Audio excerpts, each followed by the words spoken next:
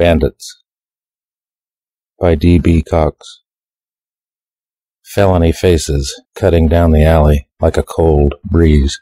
Police sirens sing the same names as last night. Darkness covers frozen footprints. A silent accomplice.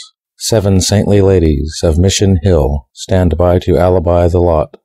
The bandits strut the street, talking shit like they'll live forever, until they reach the house of Rita, the fortune teller, where they all go suddenly mute and cross the street together, palms in their pockets,